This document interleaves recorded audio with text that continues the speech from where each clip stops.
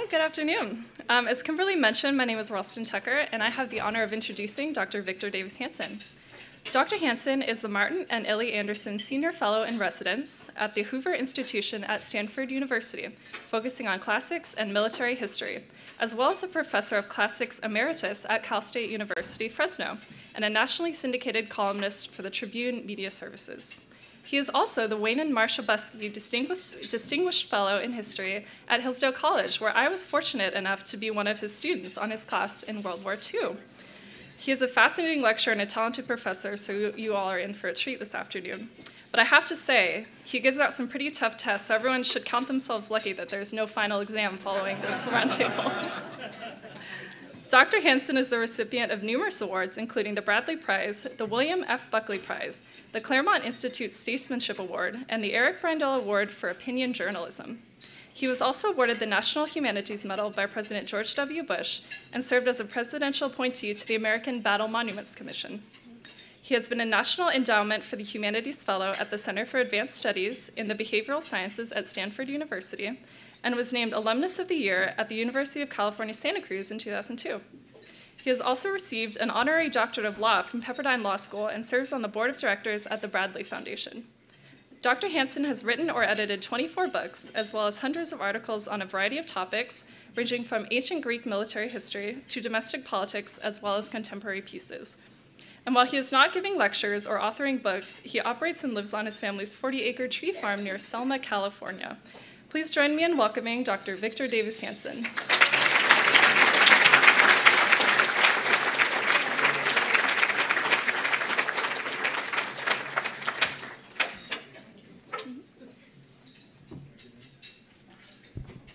You had an A in that class, I remember, right? Thank you for that nice introduction. One of the nicest things that's happened to me is the last 14 years I've taught. I get six weeks off from the Hoover uh, Institution. Everybody asks me, why do I go all the way to Hillsdale, Michigan to teach in a semester's class in four weeks? And I enjoy it. That's why. And everybody says, how can you be in a small town? If you grew up in a small town, the better question is how can I stand to be in Palo Alto?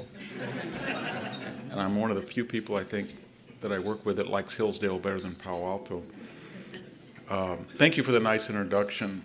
I do have to say that I did, I was awarded uh, Alumnus of the Year at UC Santa Cruz in 2002, the height of the Bush administration, and it was the most unpleasant ceremony that I've ever attended because uh, other than the person who nominated me, who was a, I think, a, a generous donor, uh, there was nobody in the audience who agreed with the nomination.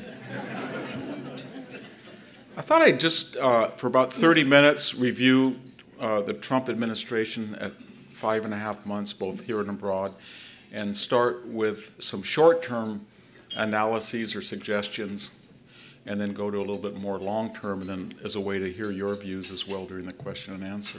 So we had this special election in the 6th District. We're told that all politics are local, and indeed they are. Uh, if you want to dethrone Donald Trump, you should not nominate somebody whose name is John and spells it J O N and looks like a pajama boy, the, the pajama boy notoriety that, that with a sort of the nasal twang voice that we associate with being a metrosexual these days. And uh, he shouldn't announce on television that he's lived with his girlfriend 12 years and helping her out. And you wonder if she's going to school and, and he's not working, and he, who works? Uh, that's not a message that's going to be uh, resonate. And then, of course, you should be able to vote for yourself when you run for office. If you don't live in the district, you can't vote for yourself. So, in that sense, all, all politics are local, but as you know, they're not anymore. Every single event that happens, whether it's abroad or here, resonates, um, whether it, it resonates in the blue, red, left, right dichotomy that we're in. And so did that election everybody said it's a, it's a referendum on Trump. And indeed, I think in some ways it was. Trump is unpopular if you read the Real Clear Politics uh, polls. Not that you have to read polls anymore because they've sort of lost their credibility, but he's not as unpopular as Nancy Pelosi. And so if you're going to run against a guy named John and you're an experienced uh, candidate like Mrs. Handel was, then you run against Nancy Pelosi and you run against Kathy Griffin holding up the head of Trump and you run against the Shakespearean troupe uh, ritually killing Trump every day, every evening, I should say, in their rendition of Julius Caesar. And people kept saying, it's, this is art for art's sake. And I, I, I used to teach, you know, classics, and I don't remember either the Shakespeare version or the authentic version that uh, Trump in any way was not elected or he tried to overthrow the government. There's no, there's no parallelism there other than a dislike for Donald Trump. Or you don't want to have on your side um, people like Stephen Colbert or Bill Maher who use obscene language, or the head of the DNC, Tom Perez, who can't finish a sentence without using the S or F word, or Kirsten Gillibrand from New York, or Kamala Harris, who comes on the scene and comes on the scene as a woman who's not afraid to do what? Use obscenity. So all of that resonates to a smaller and smaller base, and, and I think all of you in this room thought that he, that Mr. Um, Ossoff was not going to win that election, even though the polls said he, he might. Which brings up a larger question, and that is I don't think in my life, I'm 63, that I've seen, an, a, not in the 70s or, or, the late 60s, have we seen a more polarized climate. Uh, Donald Trump was the scab that was ripped, that ripped off and looked at the wound beneath. He didn't create the wound. But since he was elected, just think of what's happened. There was a movement to challenge the vote in three states and sue to uh, sequester the voting machines. The judge threw it out and said this was unsubstantiated. This was a lawsuit where Hillary Clinton used the facade of Jill Stein. Then there was the effort, remember the Hollywood commercials that they were supposed to ignore the Electoral College and each electoral was supposed to be renegade? And then after that, there was 61 representatives that decided to boycott the inauguration. It never happened before. We never had that high a number. One, usually it's one or two. And then after that, we were told that Trump would not get one nominee because they would filibuster the nomination process. That, that was quite unusual. And then there was talk, you remember this? That for about six weeks in March that Trump was supposedly physically incapacitated or mentally unstable and they were going to invoke the 25th Amendment. And David Frum wrote that this was a sure thing to happen. And then there was the lawsuit that we're witnessing now, the emoluments clause, the first the first clause, uh, clause of the Constitution that Trump is an entrepreneur and he's going to restore an aristocracy, which our founders said was, you couldn't do. So they're suing him under the first clause of the Constitution. And then this is all sort of the landscape of impeachment. So we've never seen people who were going to use any means necessary. I got a call once from about a month ago from a New York Times columnist, and he said, You right wing people, he said, you should tell us what would happen if we removed Trump by impeachment or the 25th Amendment and then he took a deep breath and said, Are any other means necessary? I said, Would you please, I'll answer the question if you can fill out the last blank sentence. What is any other means necessary? And now we know what any other means necessary is it's politicians melting down using obscenities, it's these extra constitutional efforts, and they even include things like nullification, which we haven't seen in our country since 1860 in South Carolina the idea that cities declare themselves void, uh, exempt from federal law in cases of immigration. And yet, have you noticed that that nullification clause that California seems to evoke almost every week is not transferable to, say, I don't know, Salt Lake City, who might say, well, I find the Endangered Species Act doesn't apply in Salt Lake City. Or Cody, Wyoming says, I think everybody should buy a handgun the day they want to without federal gun registration. No, it's only in California and it only applies to people uh, on the conservative side. And so we've seen these extrajudicial, extra constitutional efforts to remove a president. We've seen a level of in the entertainment industry that's unceasing. Just when you think that the attack on the congressman might have been enough, just when you think that uh, you could hear nothing more outrageous than holding the head up or what Stephen Colbert does Johnny Depp last night says talks about killing the president. It's a really bad precedent in American history for an actor to say that he wants to kill the United States president. We know where that led uh, in 1865. So uh, we are in strange, strange times. And the question is, what brought this along? Why are we in, in this state of perennial crisis? Part of it is that the Democratic Party had misjudged both the symbolism the, and the actual record of Barack Obama. He came in as the most liberal voting senator in the U.S. Senate, even though it was a little more than two years. He was not in the center of the party as had been maybe center left as Bill Clinton. And from 2009 to 2016, he moved the Democratic Party far to the left. What do I mean by that, rather than just, you know, issuing these rhetorical statements? I mean by that that he took over the healthcare system and tried to nationalize it. It was pretty effective in doing so. We doubled the debt to $20 trillion. We have almost de facto zero interest rates. We enlarged the size of the federal government. And by the way, those were the critical mechanisms we'd always used in the past to achieve 3% economic growth. You could prime the pump by having very low interest rates. You could prime the pump by running large deficits. You could prime the pump by spreading entitlements and unemployment insurance. And we've used all three, and we never achieved 3% growth. First president in modern history who has not been able to do that. And then abroad, it was basically Obama's belief that the United States, in some way in the post war order, had been culpable. So, whether it was the Middle East, Obama basically thought that the Iranians and the Shia were revolutionary people and they were oppressed in the way that people had been oppressed in the United States, and it was time to even the ledger, so to speak.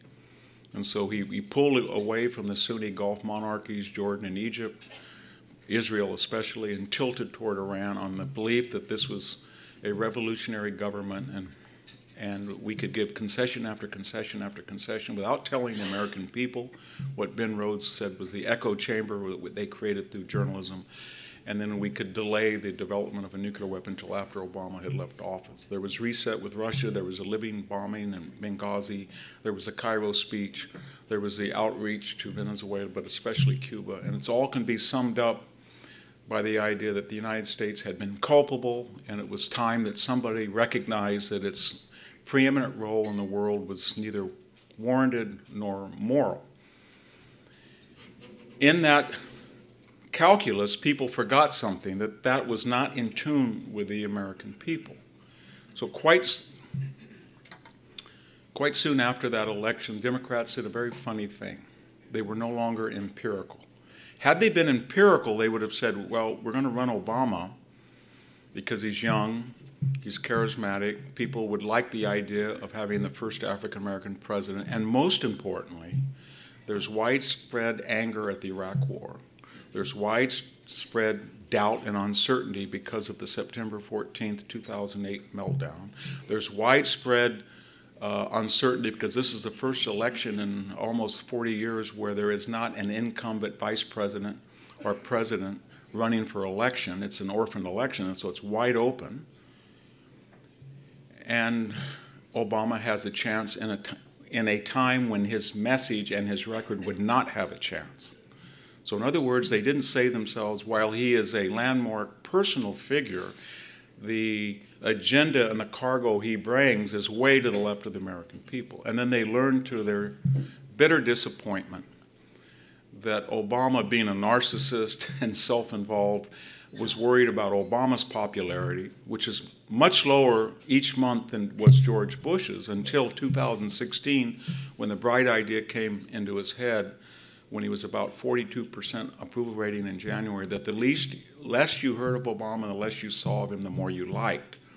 And he turned over the international stage to Donald Trump and Hillary Clinton, and he, for the first time, he went way up in popularity, 52%.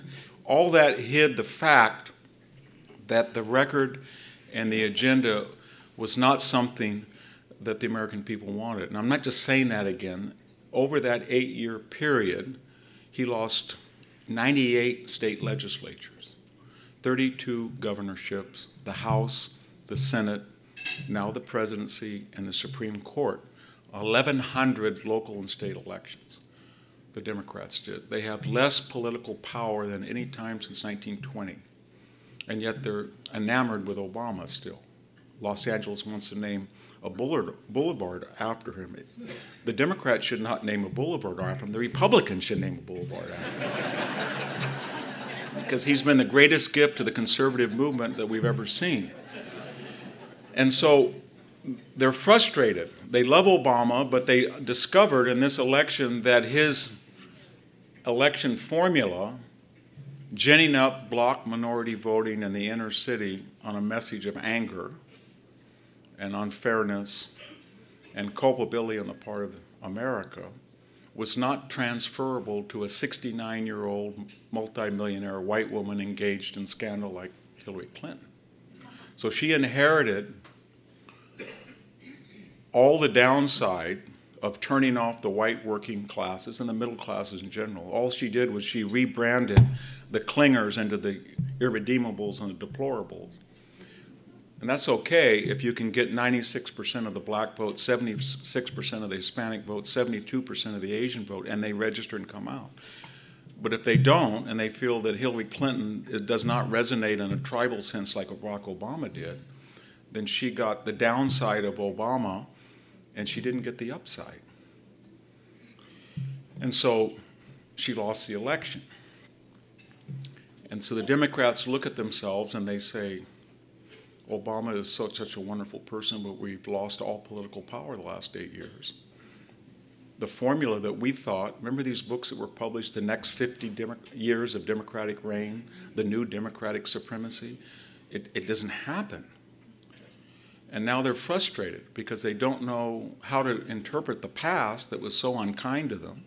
And yet, in these four special elections we've had, they haven't hit on a formula.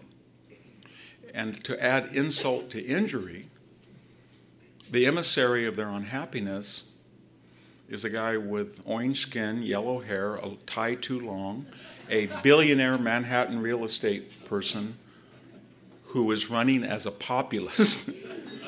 and who has a vocabulary of about a thousand words that includes tremendous, great, awesome. In class terms, because remember now, the Democratic Party is a pyramid, it's a medieval party. It's got a small capstone of wealthy, wealthy people who live on the coast Silicon Valley, Hollywood, Wall Street, whose main article of faith is they have a utopian vision that they push with the assumption that the ramifications of their own ideology never apply to themselves. They're big global warmists, but they do not want to give up their corporate jets. They believe that no one should have school choice, but they want to put their kids in a private academy, et cetera, et cetera. So that, that group detests Donald Trump. His accent's from Queens. He eats fast food. He gobbles down uh, Haagen Dazs and supposedly has two scoops and only gives you one. and this cultural and class disdain extends even to our colleagues, many of my colleagues, some of my best friends that I've known for 25 years in the conservative movement.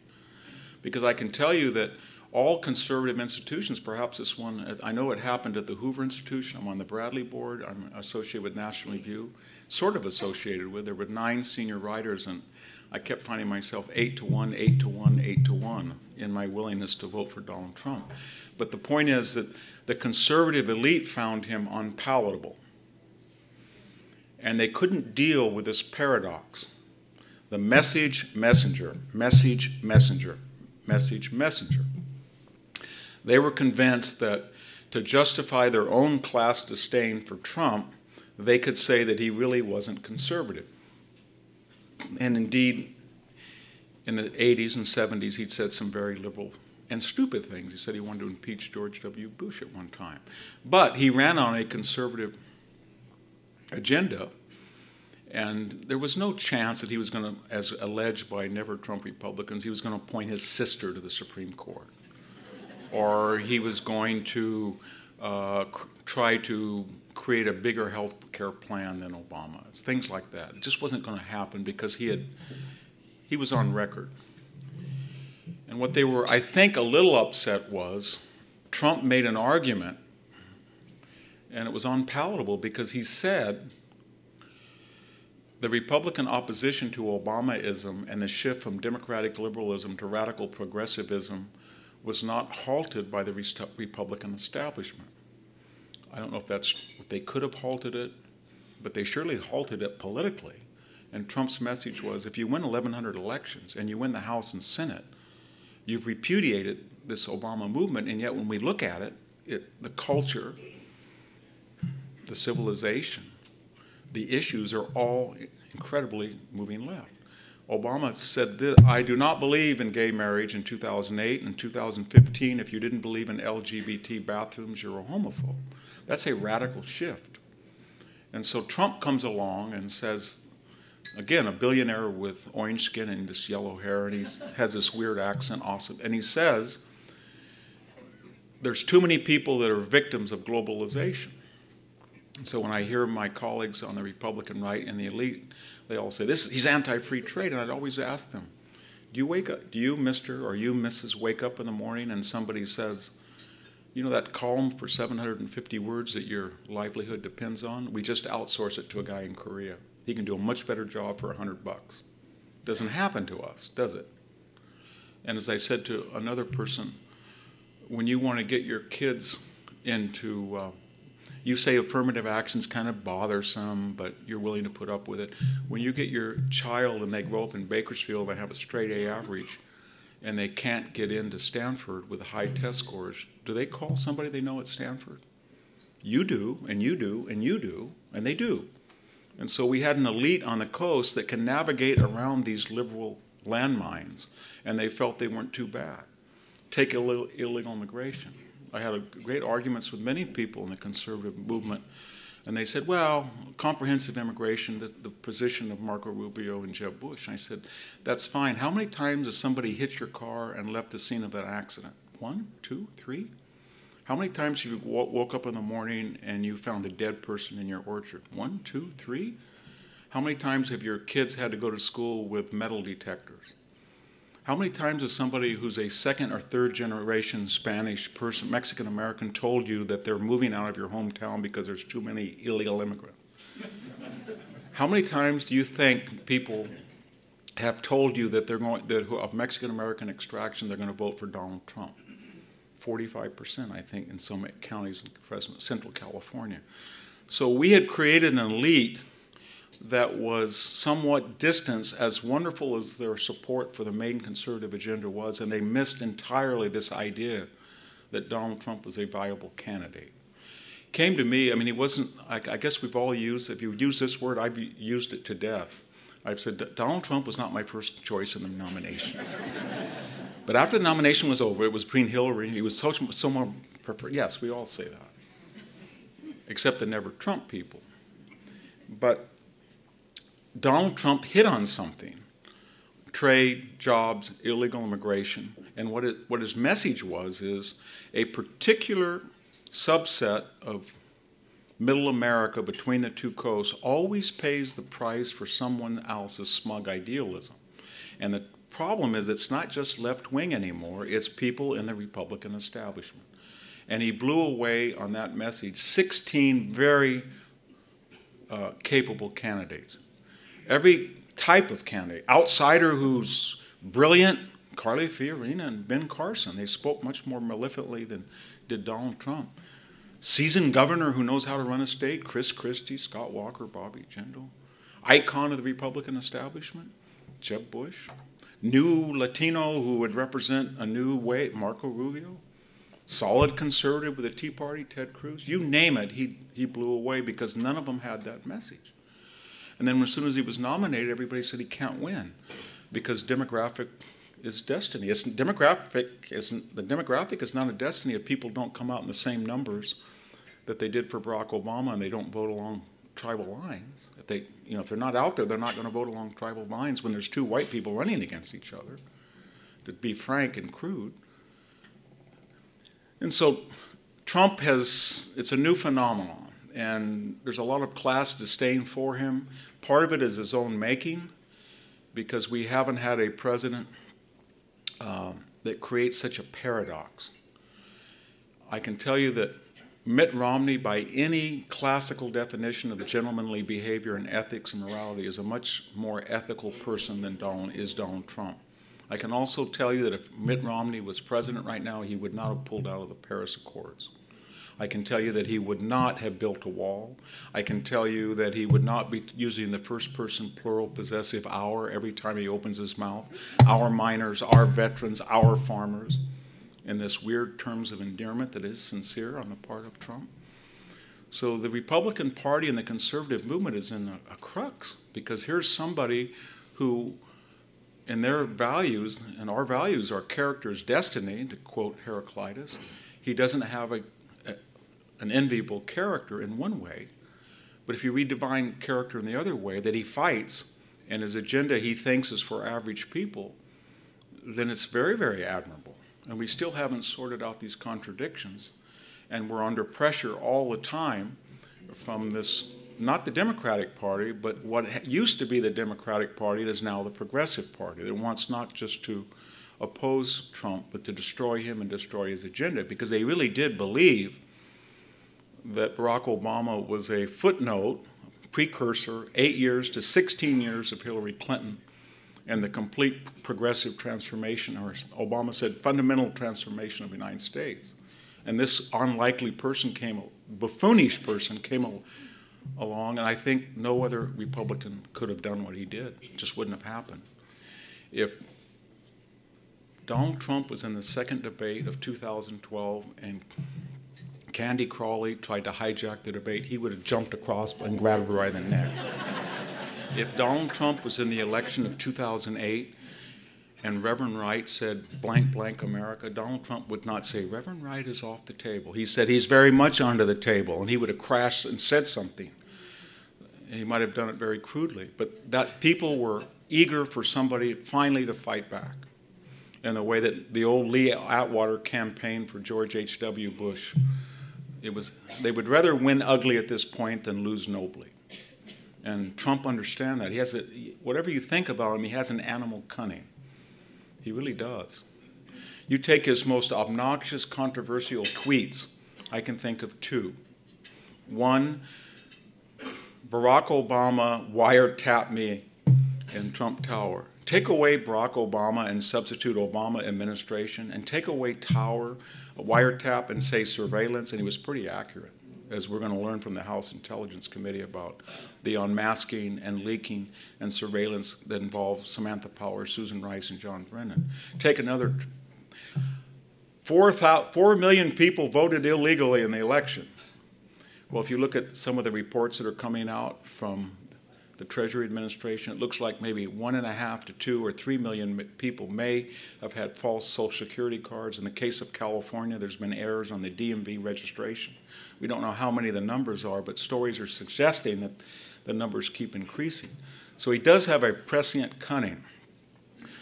I'd like just to switch then and say, well, what's going to happen? What's in store? What's the long term agenda for all of us? I think his success uh, rests on three areas. One, of course, is the agenda, and that means can he create uh, a Republican conservative agenda in the way that George Bush did not. And we're already seeing these executive orders on energy development, deregulation, immigration, school choice. They've been wonderful. Neil Gorsuch, the, there's no problem there. And for now, they are the source of Trump's base support.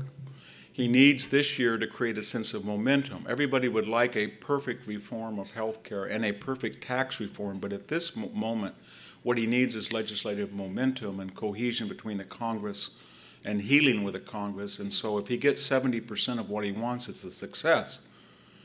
Once he gets legislative support and once he passes these bills along with his executive orders, it will start to resemble sort of the transformation and I say if or once, I'm not suggesting that it's a sure thing, but if he were to do that, it would be somewhat like Ronald Reagan in 1983, where he was very unpopular in 81 and 82, and then in 83 he started to gain momentum.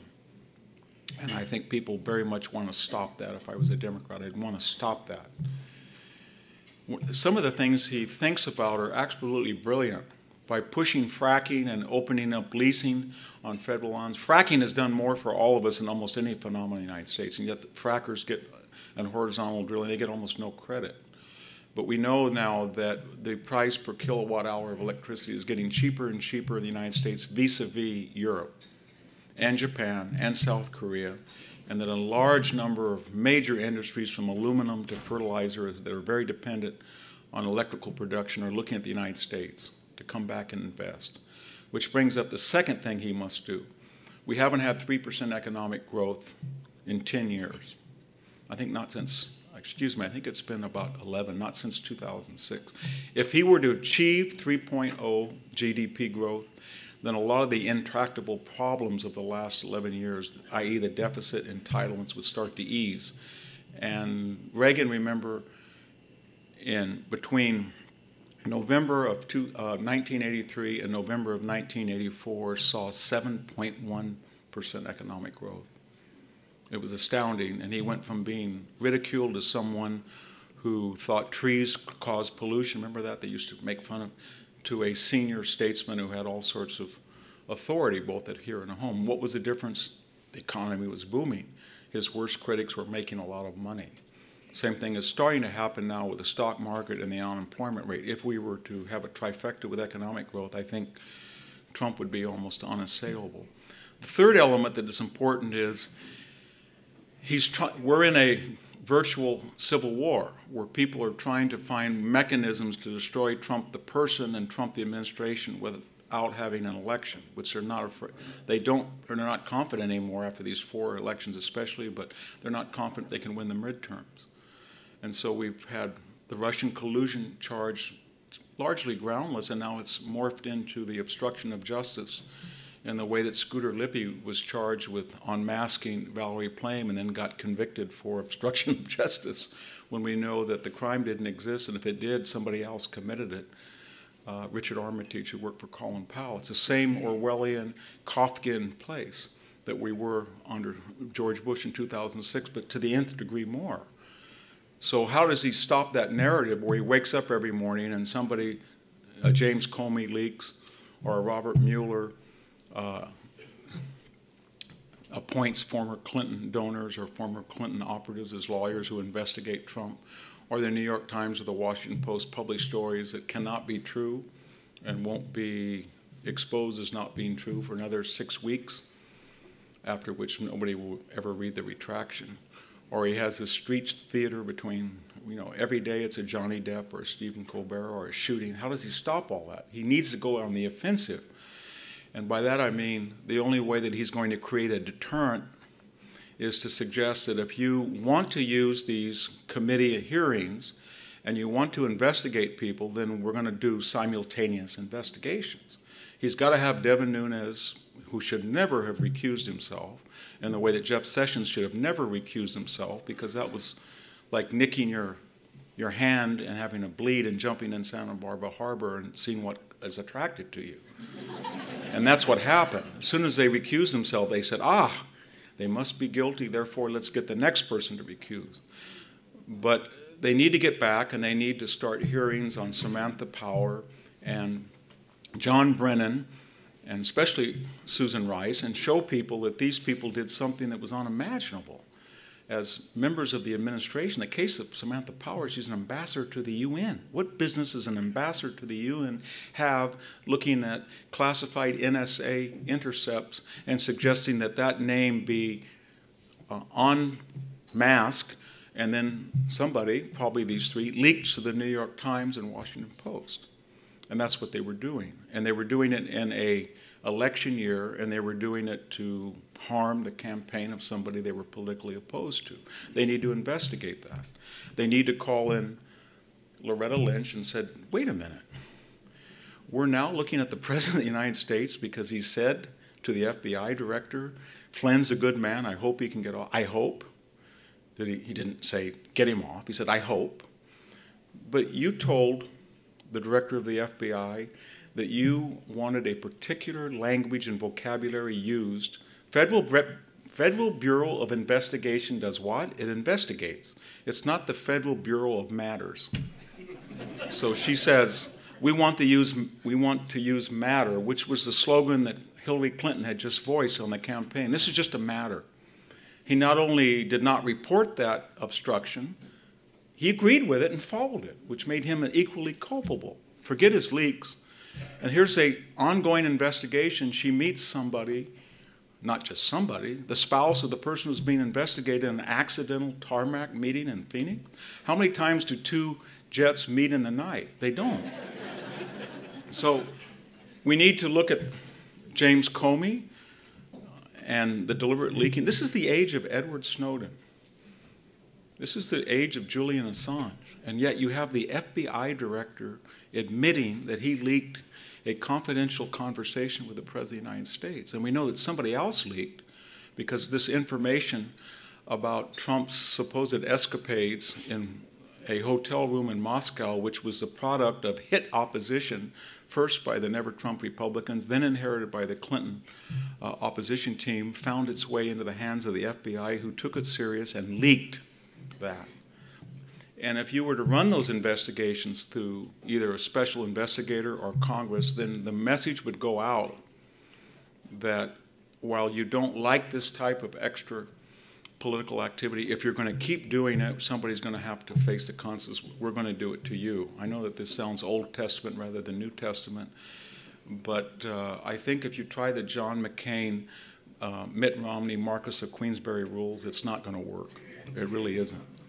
And if you were to, so let me recap. If Trump can get two major pieces of legislation through the Congress this year, he will create a sense of political momentum. If the tax reforms and the stock market and these executive orders on deregulation, let's not ever underestimate the psychological component. If you have a president that says he wants to bring back jobs, he wants to make America great, and you have capital or you're a business person to take risk, you're more likely to take risk when somebody is telling you that and that taxes are going to go down and the government's going to get off your back than if the president is saying to you, you know what, you didn't build that business. And you know what, now is not the time to profit. And you know what, at some point you've made enough money. That's a very different message. And people react, as you know, in the business field, most of you are. Psycholo- psychology counts a lot. So if he were to get 3% economic growth, a lot of the problems that we see right now would disappear. And finally, if he were to announce that he regrets very much uh, that we're wasting time in these investigations, but he's calling on the nation to investigate Loretta Lynch and calling on the nation to investigate James Comey and especially the Clinton Foundation because we've got this strange, surreal, we had a strange, surreal development when Hillary Clinton was having donations given to the Clinton Foundation and honoraria, especially in Ukraine, to Bill Clinton when she was adjudicating policy with the State Department that affected those interests. And if he was to say that that has never been properly adjudicated because James Comey falsely called off the investigation at the height of the campaign season under the improper and unethical and probably illegal excuse that although she, he found her culpable, there was no intent to deceive when intent was never included in any of those statutes. And that we have to go back and correct the record. If he were to do that, I think whether he was successful or not, people in the Congress will say, let's just quit this and get back to business because if we don't, they're going to do it 10 times more than we're doing it. And they control the Congress and we don't. And Trump is crazy enough as it is. So let me just conclude and then we can have some questions. I think this is the most dangerous and interesting time that I can remember in the last 50 years because as historian Livy had said, as he looked at what was happening at Rome, he said, We cannot live with the disease and we may not live with the remedy.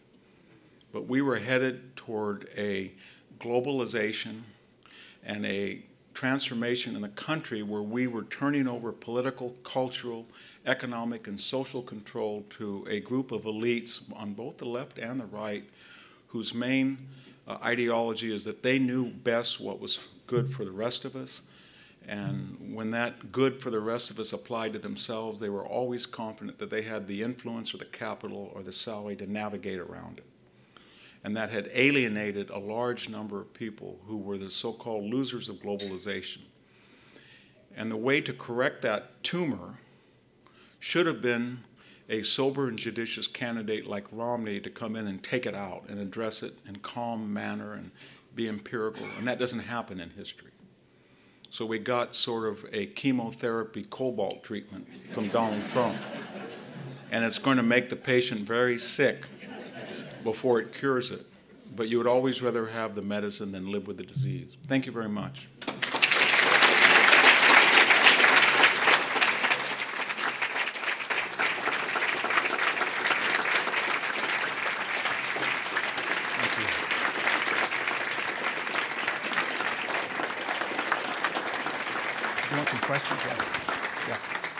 I guess we have some time for questions. Anybody have any? Yes, right here. Uh, we uh, all speak of the of the left wing press, and uh, I recall I'm old enough to recall when we had a number of uh, Republican uh, press articles and press uh, newspapers that were basically right wing and conservative, and they seemed to do very well. Is it an economic condition that has led to this terribly modern, moderate press, uh, left of I can remember when people would get very angry at the LA Times and the San Francisco Chronicle for being too conservative. Um, I think that period's gone, and that's the bad news because the way that the journalism schools are set up that feed those those uh, outlets are very liberal and they became very elitist in the sense that they hired people from Stanford School of Journalism or Columbia School of Journalism or Harvard School of Journalism. And unfortunately, the period that you're referencing, I don't want to engage in stereotypes, but it was there was still an avenue for a guy with a cigar, a little overweight, that went out on the crime beat and he had dirty fingernails and he typed on a mat and he was one with the people. Those were the type of reporters. Abe Rosenthal for the New York Times is a pretty good editor. So those people are gone, and we we replaced them with 20. What Ben remember what Ben Rhodes, uh, the deputy national security advisor for the Obama administration, said in a very stupid interview when he was trying to brag about he got the Iran deal. He said they're 26 years old and they know nothing. And they're easy to manipulate, and we created an echo chamber, talking points. What he meant was they come right out of college because we decided that uh, which are you going to hire? You're at the LA Times. Some guy has worked five years in the Madera paper, then he went to Bakersfield, he did this, and then, wow, he's got 15 years of all this experience and he's from a blue collar family, he understands America. We're going to hire him at the LA Times, or are we're going to hire somebody who's 23 out of Stanford Journalism School. So we put an inordinate amount of emphases on uh, blue chip education, unfortunately, which is indoctrinated education. Now, the good news is that at the time when all of these newspapers were becoming highly politicized, they were also losing circulation. And so where we used to have three major networks, Dan Rather or, or John Chancellor, or whoever they were, they were pretty much left wing. They were a little bit more adept at hiding that than is CNN and MSNBC. But now we have a counterculture, and the revolutionary press is more to the right. So you have the Drudge Report that has a huge audience. You have Breitbart, whatever one thinks of it, has a huge audience. And you have Fox News. And so there's an insurrection, insurrectionary conservative answer. So each time you have a talking point that goes out in the mainstream media, you go online, it just hits you that there's a correction, there's a refutation. And so we're sort of at a period that I never thought. We when I was 20, I went over to Europe and lived for a year. And I noticed that every time I picked up a Greek newspaper, an Italian newspaper, German, it was left or right. There would, we hadn't had that quite like we did now. And that's where we are now. We don't have a centrist nobody believes that Associated Press or Reuters are disinterested. We assume that they're left wing. We assume NBC, we assume NPR, we assume uh, PBS. We assume that the left runs the universities, the foundations, all journal, all elite journalism, and we assume that the right is in business and uh, church and community. And these are the forces, the centrifugal forces that, that are at odds. and they're, they're geographic. I mean, 85% of the people, 85% of the land space of the United States is red, and yet that it has only 50% of the vote, and the other 15% has 50. So we have this strange, if you look at those maps of the county, it's very strange. It's the west and east coast, and yet they have as many people as the 85% of land in between them. And it's a, it's a virtual war. Yes.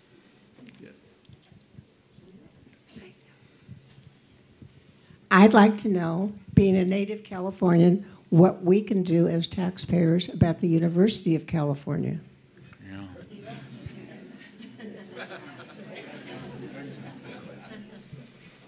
Well, people are people, and most people don't have any ideology. They say they're left wing professors and administrators, but they, the way they live, they're not left wing. I mean, Janet Napolitano, remember, she had a slush fund of $70 million and she lived royally. I think her rent, she charged the state something like $9,000 a month for her condominium apartment. So, first of all, I, am not sure that they're sincere when they say they're left. The, the elite that runs the UC lives like um, people at Versailles did in the 18th century. But they reflect, they make the necessary adjustments. And the necessary adjustments is Hillary won by three and a half million votes. The state has supermajorities often in the legislature. And California is a microcosm. If you look at the map from Berkeley to Los Angeles, the counties, it's blue. If you look at uh, the Inland Empire, the San Joaquin Valley, and northern, it's mostly red. But unfortunately for us, the uh, 85% of the territory does not have 50% of the vote. It has about 45%. 55% is in the coastal thing. So, how are we going to address that? Um, it's hard to because things that we know that are destroying the state, high energy rates for solar dreams, we have the highest kilowatt, highest, uh, highest basket of sales, uh, income, and gasoline taxes now in the nation, and yet we're rated 49th by Forbes on highways and 46 in test scores. We, we've sort of marketed this idea the more taxes we charge, the worse the, the services. So, how are we going to stop that? And the problem is that we have five or six left wing industries that, under globalization, suck in trillions of dollars. So, Silicon Valley, we have companies like Apple and Google that are valued at a trillion dollars. Of the top 20 universities in the world, I think five of them are located in California more than any other country except the United States. Caltech is one, I think Stanford's two, and Berkeley's six, UCLA's 10, USC, I think, is 15. And they're enormously influential, and they make a lot of money with foreign. And then we have Hollywood.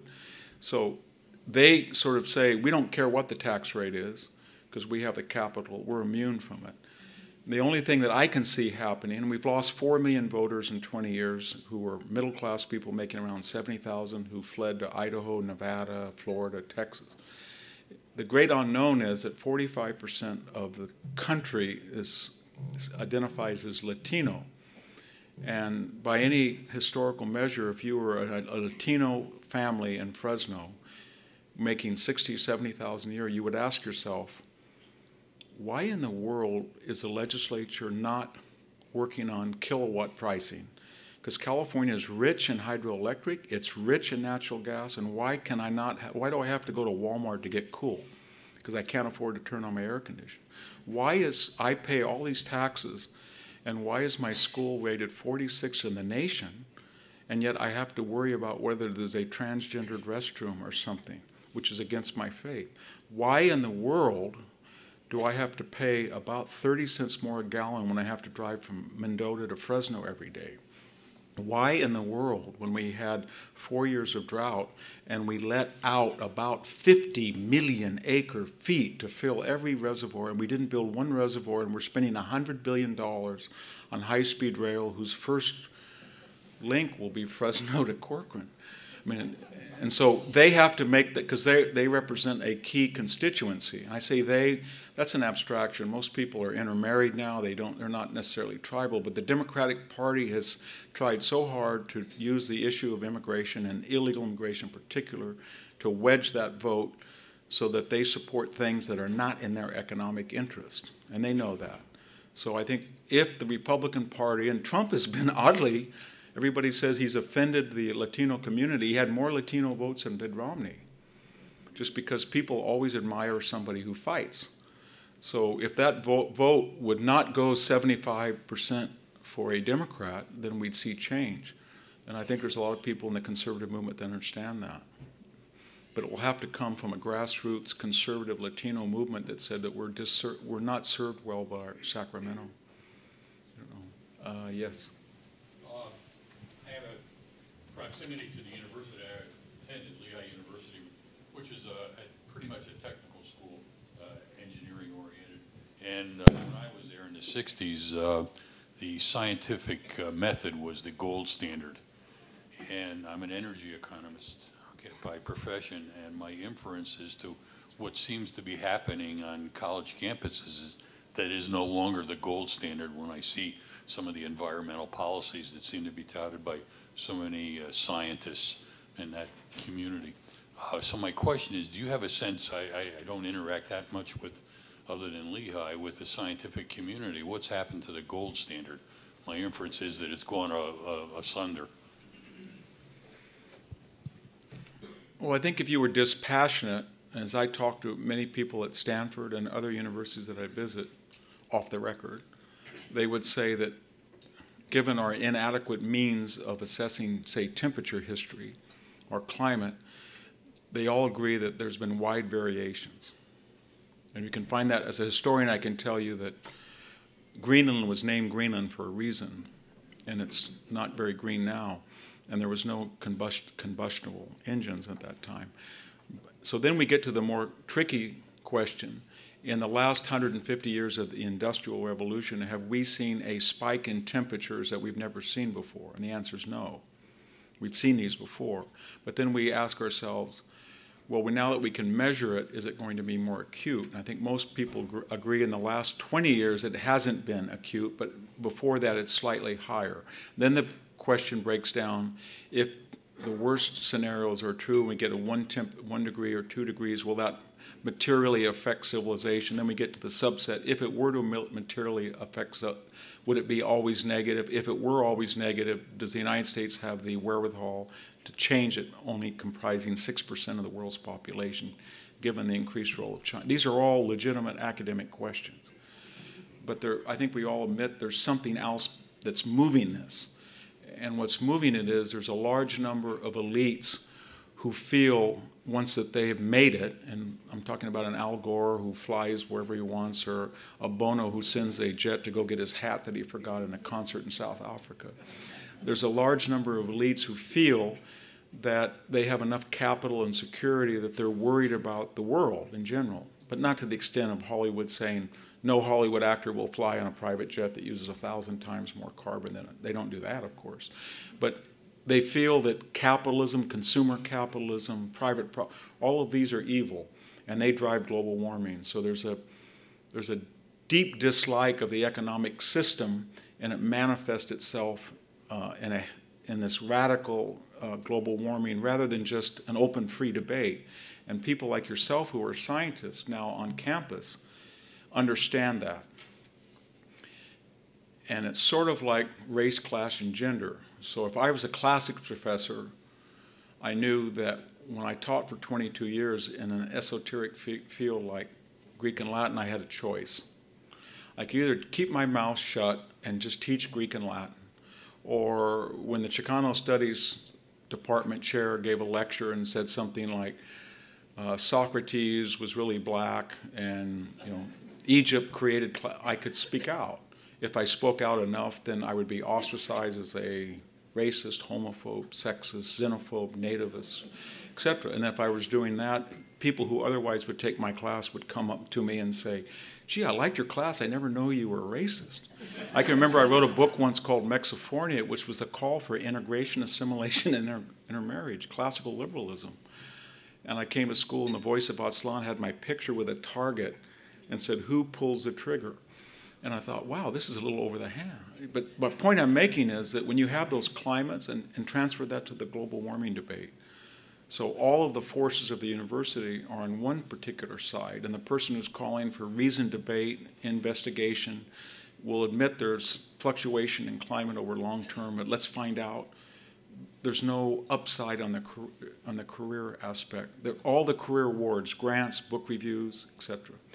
I can just tell you that when you publish a book with a trade, I publish a lot with trade representatives. Publishers will say, "Hey, Victor, can you just cool for a minute those op-eds because so and so would like to review it, or maybe we can get the New York Times." So that happens in climate debate. If you're going to be a like a guy like John Christy who says, "You know, I don't, we don't have the answers. Let's have a debate," then he also knows that his University Press book will be attacked, that he won't be on PBS, that he won't be on NPR, and so the career pressures are such that most people think I need to make the necessary adjustments in the way they did the Soviet Union it really is getting that way. It's, and uh, that people call themselves liberal, and yet they're not very liberal at all, is ironic. But I, I know so many people in the academic world who make the necessary adjustments. It's sort of like the 49ers were, I don't know, 12 and 3 eh, five years, six years ago. Everybody wanted to go see them. And when they're 3 and 12, they can't fill the stadium because what happened to the fans? The same people they either love or hate the 49ers. No, they want to be they want to resonate with a winner and they want to invest in something that makes them feel good. And if global warming's on the rise and that's the neat thing and that's the fad, it's like hula hoops or you know um, pet rocks. They'll do what's necessary to feel that they're part of a winning team. We have to suggest that that's not the winning side, and you'll be surprised how many people will come out of the woodwork and support. Thank you. Last question. Yeah. Thank you for the analysis. Thank you for the analysis of the election and uh, what to expect. And uh, one, uh, one point that you, you mentioned is something I've thought a lot about and has my kids thinking I'm a conspiracy theorist. And you touched on the Russian dossier and that so many people had ignored it, yet our security apparatus seized on it. Was it out of ignorance, or was it willingly, or do you have any take on?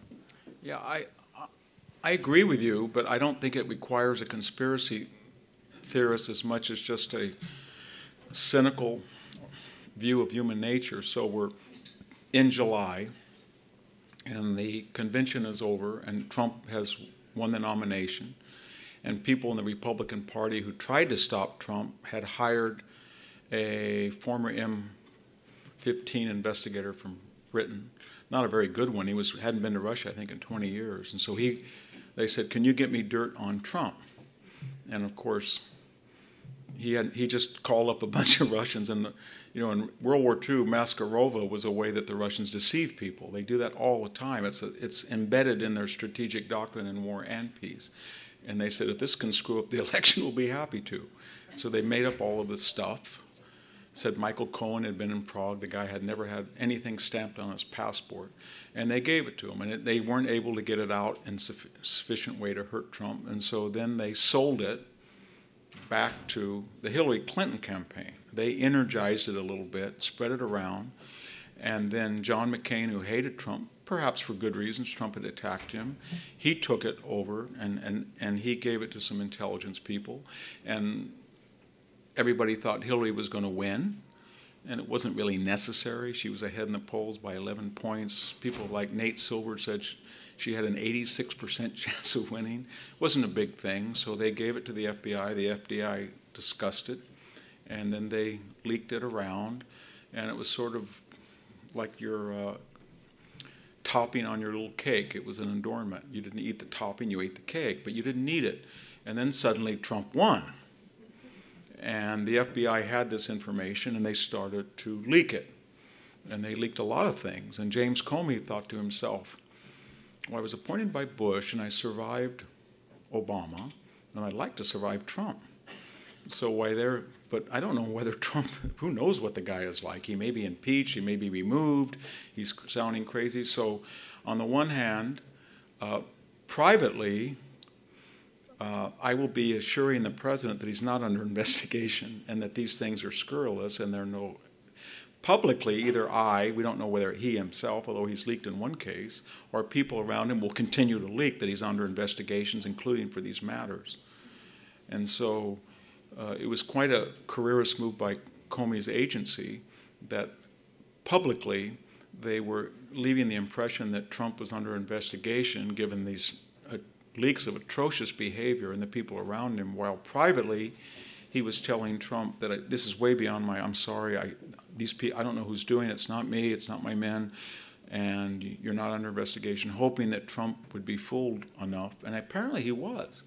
Trump, I think, by any standard of Comey's behavior during the accident, oh, it was unprecedented that an FBI and director who's an investigator, he's not a prosecuting attorney, he's not a judge, he's not a juror, would inject himself into the middle of the campaign, first of all, to give a press conference to placate an insurrection among his own investigators that knew Hillary was guilty, and then give a damning indictment in 30 minutes, only to say that because she had no intent to do all these terrible things, the case was closed, and then to have more anger, then to go back and reopen it, and then to think, oh my gosh, she is going to win, and then to go back and reclose it. Anybody who would do that should have been removed the first day of office. But it was Comey's charm and his efforts to tell Trump all of these nice things that kept him alive. So I think that's what we're looking at as a conspiracy that Comey and the Democrats were perfectly willing to use this, but they saw no need to do it. So it was, it, the story was out there well before the election, but people didn't publicize it very much. The FBI looked at it, Obama looked at it, Susan Rice looked about it. Obviously, they leaked to the New York Times, they leaked to the Washington Post. It was out in the public record. It was a little bit of an adornment that brought Trump's, you know, ratings down one or two points, but when he's down 11, who cares? But once he won and nobody believed he could, then it was really spread around. And that was to destroy this incoming president. And it was sort of the fuel that ignited uh, boycotting the inauguration, challenging the voting in three swing states, trying to convince the electors that he shouldn't be president. How can a man be president? From why would you vote for, even though your state voted for him, why would you vote for him when he went to a hotel room in Moscow and saw a prostitute urinate on the sheets. That's horrible. How could you vote for a man like that? So then we had the insurrection of which that was a part. And hopefully there'll be an accounting, but I'll just finish the answer to this last question. When Robert Mueller, who's an honorable man, but anytime you have an investigator who's the best friend of Jim Comey, when Jim Comey was confirmed, he mentioned Robert Mueller. And, and then you have political operatives as some of the first hires. And then the establishment in Washington says, Robert Mueller is a sober and judicious, honest. I'm sure he is, but that's the exact same epithets and adjectives they use of James Comey, who turned out to be the opposite. So I would be remain skeptical about all of this. Thank you very much.